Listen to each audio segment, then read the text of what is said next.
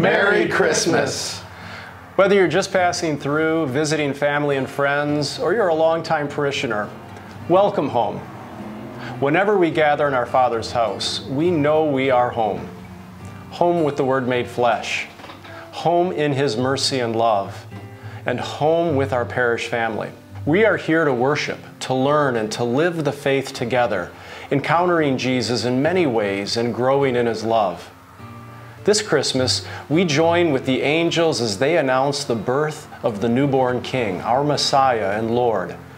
We have much to be thankful for, and we are blessed to celebrate such a life changing season. As we pray and worship together, we rejoice in each of you and the gifts you bring to our community, to our families. Thank you for raising your children in the faith as the domestic church and witnessing the true nature of God's love.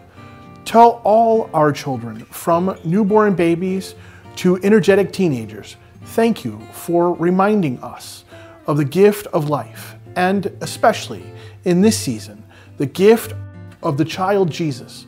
To our seniors, thank you for your steadfast faith and for sharing your wisdom and grace with us.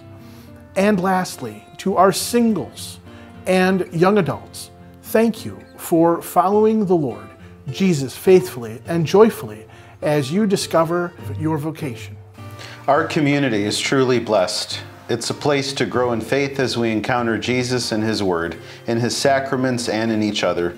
We are blessed to learn our truest identity as beloved sons and daughters of God and joyful disciples. We are blessed to live out our faith, worshiping freely and witnessing His love. We are blessed to serve in charity, ministering to those most in need, the poor, the forgotten, and the lonely. We are blessed to be in a parish family, accompanying and encouraging one another along the way.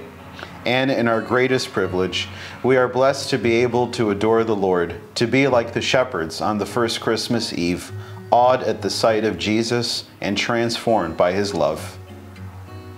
And so we say again, welcome home. May Jesus increase in your heart during this season of grace.